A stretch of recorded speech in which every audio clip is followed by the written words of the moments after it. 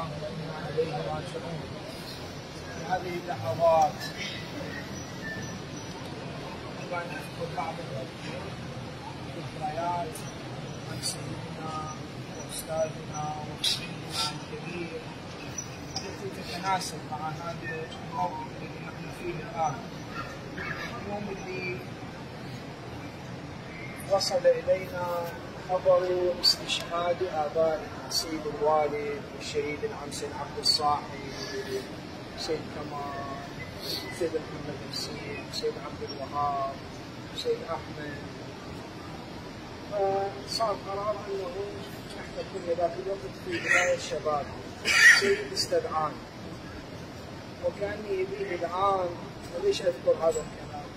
كان يبي يروح القاهره الآن هي تعزينا بهذا واضرابه السيد استدعان عفوا سادتنا في المعبد على السيد استدعانا ونحن في ظروف السجن وحتى يمنع علينا أن نبكي آباءنا. في السجن علمنا بما جرى من إعدامات. كذا ما وصلنا. الخبر مباشره فهو برباطه جيشه بقوة إيمانه. باستحضاره لعواقب الأمور بإيمانه بالله واليوم الآخر.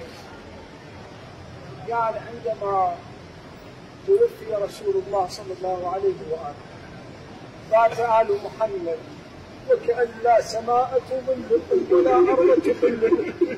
حتى جاءتهم الدعوة من الله على لسان الخزي وهو كان يعزينا بهذا وأمثاله وكأن بروحه الطاهر الآن تعزينا بهذا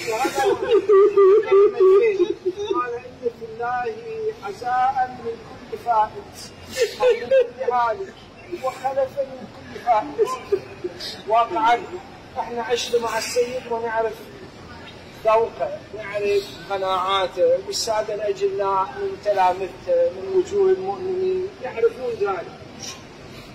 ارجو المعذره عن الساده ولكن هو هذا في الحقيقة مو ذوقه ورايه وإنما هو ما ورد في الكتاب العزيز وفي السنة الشريفة. يعني هو هذا كان ينطق بالقرآن وبالحديث عاده أن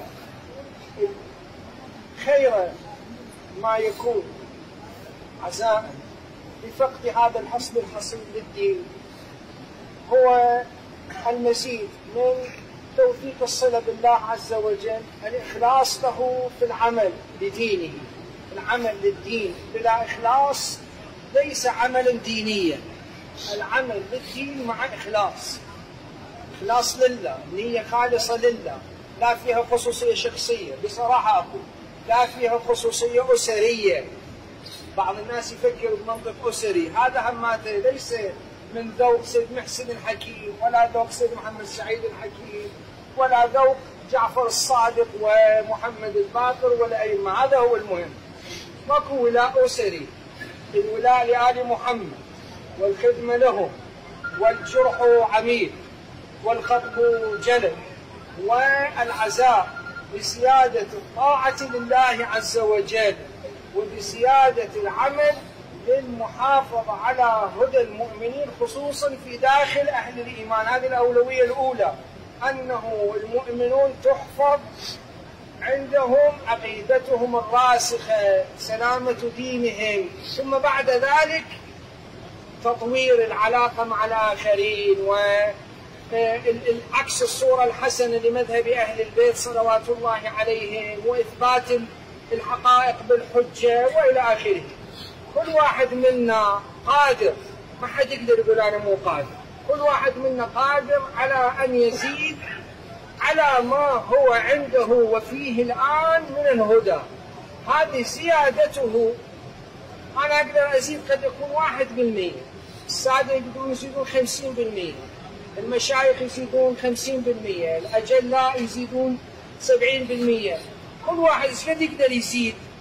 هذه زيادته في خدمة الدين والمؤمنين والتآزر والتعاون وقضاء الحوائج والتعاون على دفع الكربات وتفريج الأزمات هذا هو يكون نعم السلوى لفقد هذا السيد العظيم والتخفيف من المصاب الجلل الذي عصف بالمؤمنين. الله سبحانه وتعالى هو بيده كل شيء. وأعيد ما ذكره السيد لي عندما كان يسليني عن فقد الشهداء. إن في الله وهو وهي رواية عن أهل البيت. إن في الله عزاء من كل هالك وخلفا من كل فائت.